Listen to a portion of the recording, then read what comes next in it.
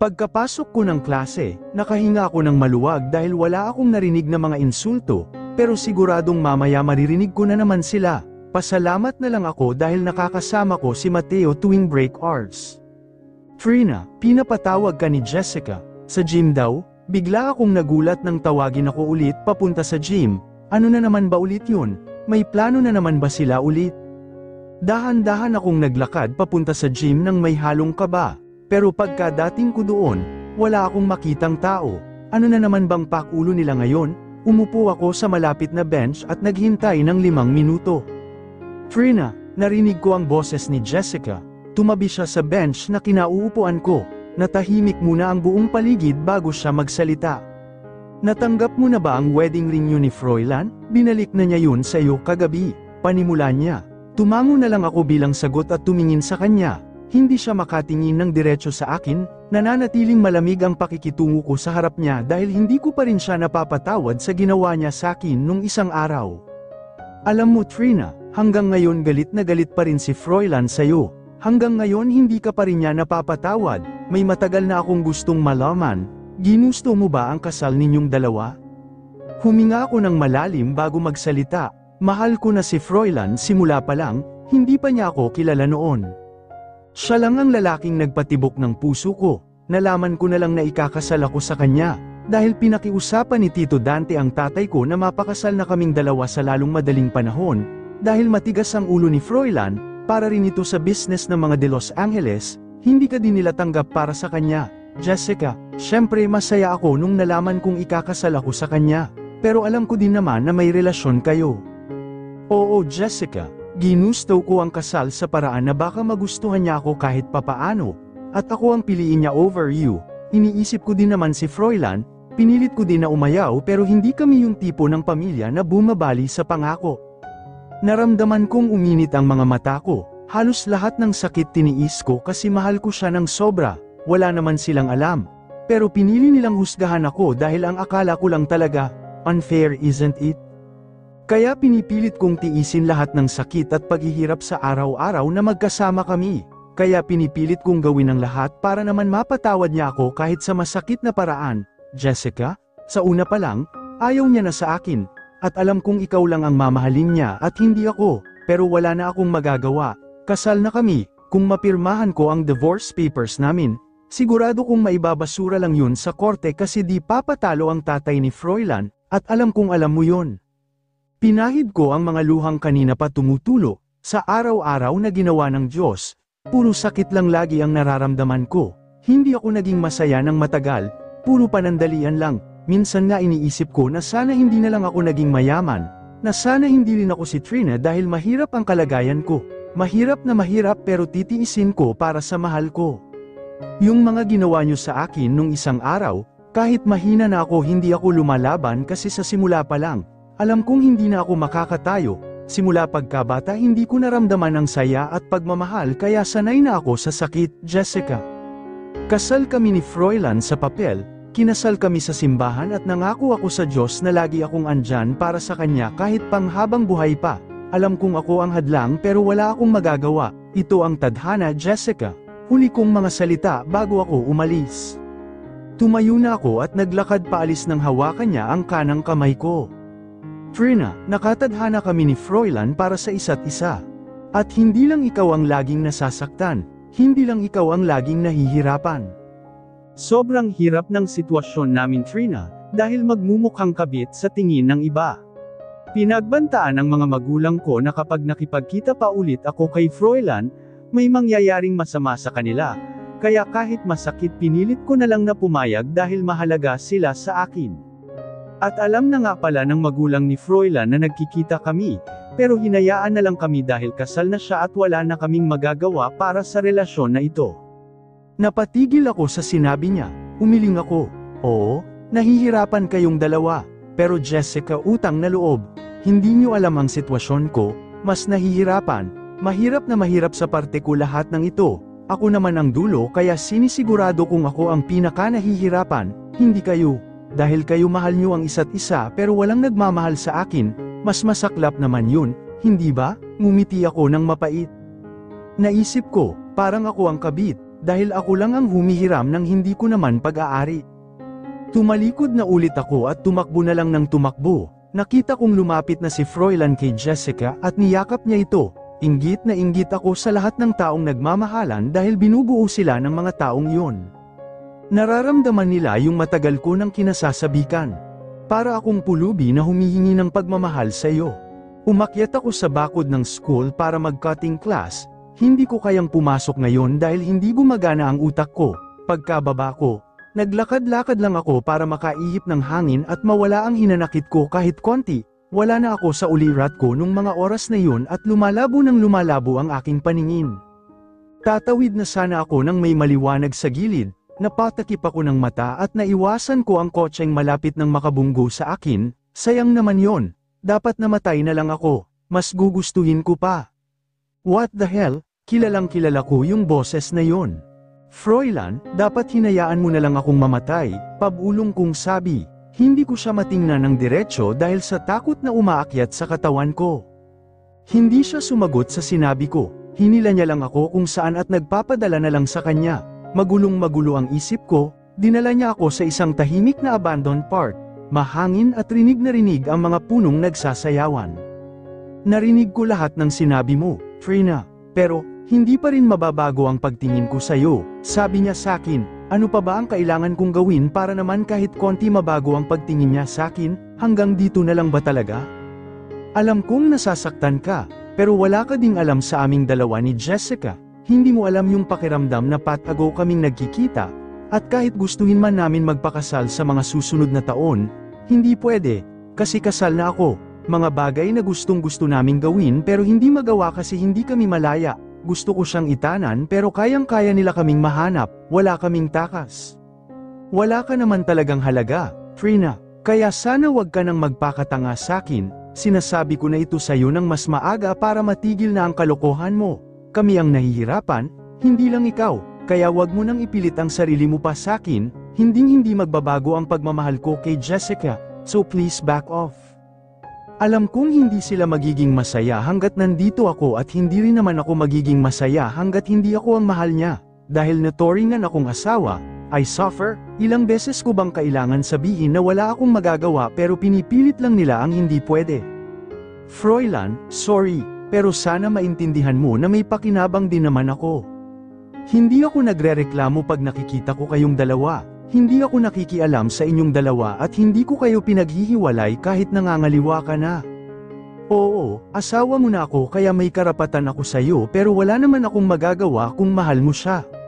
Sa una pa lang naman napilitan ka lang sa di mo gusto, bulong ko sa sa kanya, napaluhod na lang ako at nag-iiyak, lagi na lang ganito araw-araw, Puro sakit lang lagi, kailangan ko pa ba sabihin na walang magagawa ang pag-iyak ko dahil ito ang tadhana ko? Gusto ko sanang kausapin ang magulang ni Froilan pero natatakot ako kay Tito Dante, super strict and serious, hindi ko alam kung paano ko i-approach, pero susubukan ko na. Can I talk with Mr. Dante de Los Angeles? Tanong ko sa sekretarya niya. Ito lang ang naiisip kong paraan at konting pag-asa para magbago ang lahat. Alam kong mahirap ko siyang makukumbinsi pero kakayanin ko. Pinapasok nila ako sa kwarto ng tatay ni Froilan. Yes hiya, nice meeting you. What's the problem? Umupo ako at pinagmasdan ito. Magkamukhang magkamukha talaga sila ni Froilan, mga nasa mid-40s na siya at mas malaki lang ang katawan kesa sa kanya. Nice meeting you too Tito, it's all about Froilan. Huminga ako ng malalim bago magsalita, medyo kinakabahan din ako kasi baka pumalya ang plano ko. Iniisip ko na lang din na baka may magawa pa akong paraan para itigil na lahat ng gulong ito. Ano bang ginawa ng anak ko sa'yo? Tanong niya sa akin. Marami, gusto ko na pong makipaghiwalay sa kanya. Nagulat siya sa mga salitang sinabi ko, pero nanatili akong kalmado at hindi nagbibigay ng kahit anong ekspresyon. Ang pamilya ko hindi bumabali ng pangako, pero alam kong pag nalaman nila ang ginawa ko ngayon, Magagalit sila sa akin dahil ako pa lang ang miyembro sa pamilya namin ang nakasira ng pangako sa iba. You cannot, biglang nag-iba ang ekspresyon ng muka ng tatay niya. Hindi kayo maghihiwalay ni Froilan, hindi hindi ako makakapayag kahit ano pang sabihin mo sa akin Trina. Kasal na kayo di ba? At alam ko na hindi kayo ang tipo ng pamilya na bumabaling sa pangako, pagbabanta niya. Oo, alam ko po yun, pero hindi ako mahal ng anak ninyo. Hindi siya masaya sa piling ko, Tito. I hope you can understand na nahihirapan din po ako sa sitwasyon namin dalawa. Mas bagay kayo ng anak ko, Trina. I will never accept that woman, hindi siya galing sa kilalang pamilya and her place is disgusting, I cannot risk the name and downfall of the company just for Fräulein relationship, hindi ko din alam kung bakit na atim niyang mahalin ang babaeng yun, she would be a disgrace to our family, inis niyang sinabi ang lahat ng yun, kitang kita sa mukha niya ang frustration because of Fräulein's relationship with Jessica. Mataas ang ego ng tatay ni Fräulein, hinding-hindi siya makakapayag sa plano ko. Kaya umuwi akong nanlulumo pero sana Fräulein malaman mong sinubukan kong gawin ang hinihiling mo. Pero patawad, dahil wala akong nagawa. Umuwi na ako galing opisina ng mga de Los Angeles, sasabihin ko kay Fräulein mamaya ang naging usapan kanina. Naging palaisipan sa akin lahat ng mga nangyari simula nang maging kami, naging timang at bobo ako sa pag-ibig. Nagpakabulag, pero sana maintindihan niya na naipit lang din ako dito, hindi ko rin naman ginustong mahalin siya. Unang araw na sinabi nila sa akin na ikakasal na ako at nalaman kung sa kanya ako magpapakasal, hindi ko moari ang kasayahan na naramdaman ko nung mga oras na yun, pero nangunguna sa akin ang lito dahil may mahal siyang iba, masakit, nakakatanga nga talaga ang magmahal, bakit kasi sa kanya pa? Natatawa na lang ako sa katangahan ko, kung kailan naman gusto ko nang kumawala, mas lalo pa akong inipit, ang saklap. Pagkabukas ko ng gate, bumungad agad sa akin silang dalawa, kakaalabas lang nila mula sa main door at nagulat nang makita ko, ngumiti ako ng mapait sa kanila bago ako magsalita, pero hindi naman nila ako binigyan ng ngiti o pinansin. Fräulein, pumunta ako sa opisina ng papa mo, nagbabaka sakaling pumayag siyang maghiwalay na tayo, pero sorry, wala akong nagawa, masyado siyang nagmamatigas. Walang nagsalita, nakita kong tinitignan ako ni Fräulein pero hindi na ako sumulyap pa, malayo lang ang tingin ko, hindi ko maipaliwanag kung anong nararamdaman ko sa lahat ng nangyayari. Sige, papasok na ako sa loob, paalam ko. Aalis na sana ako nang hawakan ako sa braso ni Fräulein, biglang tumibok ang puso ko nang naramdaman ko ang init niya, para akong nakukuryente sa mga hawak niya. Trina, let's talk for a while, binitawan niya ang kamay ko at umalis, Tiningnan ko si Jessica na seryosong nakatingin sa akin at nagsasabing sumunod daw ako kay Fräulein kaya tumango na lang ako at sumunod sa kanya papasok ng bahay. Sinundan ko siya papunta sa veranda. Hindi ko alam kung ano ang magiging reaksyon ko sa ginawa mo Trina. Hindi ako magpapasalamat sa iyo dahil sa kinausap mo ang tatay ko. Wala ka ba talagang balak bitawan ako? Tanong niya sa akin. Hindi ako nakasagot, gusto ko na din kasing kumawala dahil sa nangyayari. Kapagod ang lahat, sobra, alam kong habang buhay akong dusa kasama siya dahil hindi niya ako mahal. Masaya lang ako dahil nakikita ko siya at nakakasama sa isang bubong pero gaya nga ng iniisip ko. So close, yet so far, kahit gaano pa siya kalapit sa akin, hindi ko siya maaabot. Fräulein, I love you so much, you know that, right? Tanong ko sa kanya. Hindi siya kumibo, nakatingin lang siya sa malayo, napabuntong hininga muna ako bago sumagot. Nung naging mag-asawa tayo, sobra akong nasasaktan sa lahat ng ginagawa ninyong dalawa ni Jessica. Nasa iisang bahay tayo pero hindi mo man lang ako kinakausap, hindi mo man lang ako matingnan ng diretso sa mata. Pati yung sa akin ng mga kaibigan mo, hinding hindi ko nakakalimutan yon. But you know what? Dahil mahal kita, pinili kong magpakatimang at magbulag-bulagan, na kahit pinapamukha mo na sa akin ang lahat, hindi ako bumitaw, pero Fräulein, Tao lang din naman kasi ako, napapagod, nasasaktan, ginawa ko na ang gusto mo. Lumapit ako sa tatay mo pero hindi siya pumapayag sa gusto nating dalawa. Bamantong hininga ko, unti-unti na naman lumalabo ang paningin ko dahil sa mga luhang nagbabadyang bumagsak. Hindi kita pasasalamatan, naiintindihan mo, naibsan man ang galit ko sa'yo, but remember your place. Wala pa ring magbabago sa ating dalawa. Jessica will always be the love of my life, not you, Seryoso niya akong tiningnan, hindi ko magawang makasagot sa sakit ng sinabi niya sa akin. Can you do me a favor? He pleaded. Tumango lang ako bilang tugon sa kanya. Act as if we're not married. Act as if we're strangers. Magsasama pa rin o wag na tayong magpansinan. Let's not mind each other's businesses. Kung may magtatanong kung kaano-ano natin ang isa't isa, sabihin mo wala. Uuwi ako araw-araw pero lagi kong kasama si Jessica. Huwag mo din kaming pakikialaman.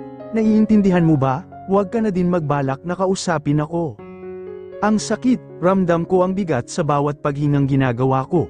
Mas gusto ko pa atang inaaway na lang ako lagi, kesa sa hindi magpansinan. Parang mas mahirap itong gawin, hindi ko kayang hindi niya ako bigyan ng pansin. Ay, sorry for what I did to the both of you. Kung yun ang paraan para mapatawad mo ako, sige, gagawin ko, hindi ako makapagsalita ng maayos, labag sa akin ang lahat ng gusto niya pero wala naman akong magagawa. Tumalikod na ako agad, dali-daling umakyat sa kwarto ko at sumalampak agad sa kama, sobrang sakit ng gagawin ko ngayon, ito ata ang matindi sa lahat, hindi na kami mag-uusap kahit kailan, walang pakialamanan. Nagpakasal kaming dalawa sa simbahan, mag-asawa din kami sa papel, pero estranghero lang kami sa totoong buhay. Humagulgol ako ng humagulgol, hindi ko napigilan ang sarili ko, kalat na kalat lahat ng unan at buong kama. Kung pwede lang sana ibalik yung araw na hindi ko siya kilala, gagawin ko. Pero ang pinakamasakit pa doon, wala man lang akong naging kakampi, walang magulang na andyan para sa akin, pati kaibigan, nagpapasalamat na lang ako at andyan si Mateo, masaya ako kasi kahit nag-iisa lang siya, napahalagahan niya ako, importante siya sa akin, siya lang ang magiging sandalan ko. Trina, after ng class nyo sumama ka sa akin, okay? Ngiting sabi ni Mateo sa akin nung magkasabay kami sa bus, maganda ang bungad ng umaga ko dahil andito siya. Bakit, anong meron, ipakikilala kita sa magulang ko, naikwento kasi kita sa kanila eh, please, he pleaded, ngumiti na lang ako sa kanya at kinurot ang pisngi niya, bigla siyang namula sa ginawa ko kaya medyo nailang siya sa akin, nung nandun na kami sa tapat ng UNEV, naglakad na kami papasok ng gate, may nagtitinginan sa amin pero hindi naman ako nakarinig ng kahit ano. Tiningnan ko si Mateo, napansin ko naman na parang mas lalo siyang pumuti. Mateo, bilib din ako sa iyo, ang puti-puti mo. Natawa siya sa sinabi ko, hindi man katangkaran si Mateo pero ang ganda ng hubog ng katawan niya. Idagdag mo pa yung dimples niya sa pisngi. May lahing koreano ako kaya ganyan, nagulat ako sa sinabi niya, kaya naman pala maganda ang kutis niya dahil may halong ibang lahi. Hindi ko ito napansin nung una kaming nagkita. I'm so preoccupied with a lot of things that time. May kaya kami sa buhay noon eh. Meron kaming business dati sa Japan pero na-bankrupt kaya bumalik dito sa Pilipinas. Si tatay, nakatira lang talaga sa may baklaran pero hindi naging hadlang yun kay nanay. Basta magkakasama-sama daw kami ox na. Nagra-racket na lang ako para may pambayad sa mga gastusin sa bahay. Medyo malaki din kita ni tatay eh, malaki daw bigayan, natatawa niyang sabi sa akin, ngayon alam ko na kung bakit ang ganda ng lahi ng lalaking ito. Nang makarating ako sa klase, saktong dumating na ang professor for the second subject kaya umupo na ang lahat at nakinig sa discussion, naalala ko na naman ang naging usapan kahapon at nadudurog na naman ang puso ko, I am really hopeless, nakatali ako sa relasyon na walang mangyayari. Miss Ortiz, nakikinig ka ba? Nagulat ako sa sigaw ng professor sa harap, napayuko na lang ako at hindi nagsalita. Gustong gusto ko na din baguhin ang tingin sa akin ng mga taong nasa paligid ko. As I have said earlier, there will be a painting competition for this semester. I'm confident that you can represent our course. Are you in, Mrs. De Los Angeles? Nagulat ako, De Los Angeles? Madalang lang gamitin ng kahit sino sa akin yun. Kompetisyon sa pagpipinta, napakagulo ng isipan ko para makagawa ng maayos na artwork, pero gusto kong ibangon ang sarili ko sa lahat ng nagyayari sa akin. I want to prove myself. Hindi habang buhay magiging timang at bobo lang ako sa pag-ibig, kailangan ko din na maipagmalaki ang sarili ko, not for frapilan, but for myself, kailangan kong ipakita na hindi ako katulad ng iniisip nila, gusto ko magbago for the good, pero ang hindi lang magbabago, ang pagmamahal ko sa lalaking hindi ako gugustuhin pabalik. Yes ma'am, sagot ko, medyo nailang ako dahil ang daming nakatingin, ang alam lang naman nila na isa akong geek dahil matalino at may sariling mundo. Painting is a way of escaping the reality. Nag-commute kaming dalawa ni Mateo papunta sa kanila.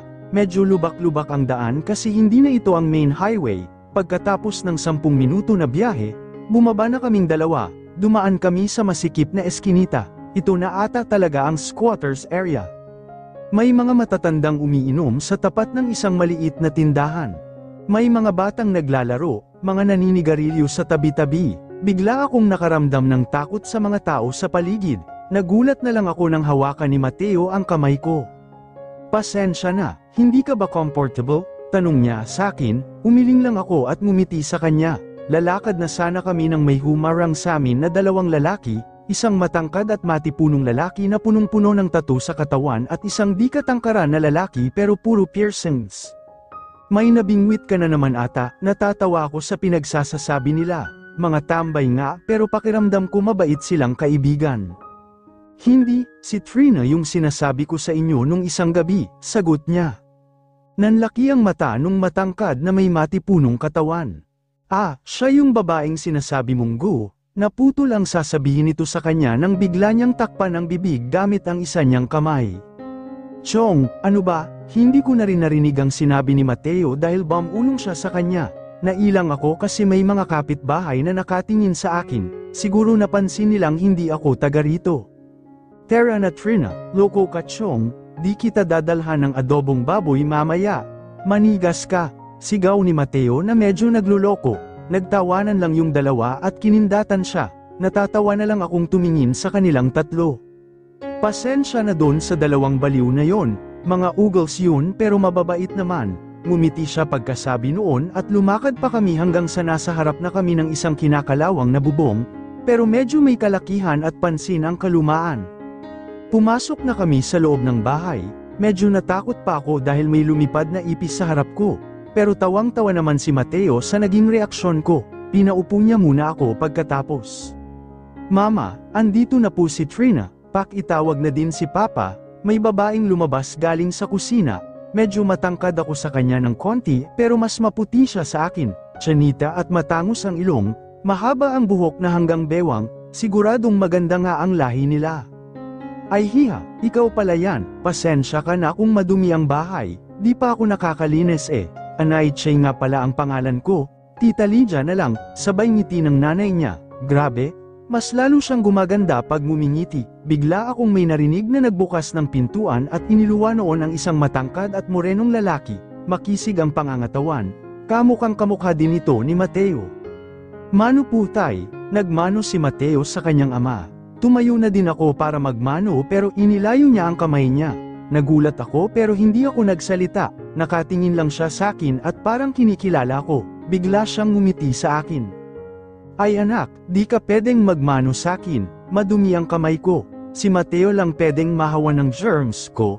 Natawa na lang ako sa sinabi ng tatay niya. Akala ko pa naman hindi siya komportableng andito ako. Mali lang pala ang akala ko. Siya nga pala Mateo, si Jessica darating, may da. Naputol ang sinasabi ng tatay ni Mateo nang may babaeng nakangiti na pumasok din sa pintuan. Nagulat ako, Jessica? Pagkagulat kong sabi, Nawala ang ngiti niya nang makita ako sa harap niya. Nakasuot siya ng oversized na kamiseta at maikling shorts. Oo nga pala, si Jessica, ang kaibigan ni Mateo, pakilala ni Tita Lydia.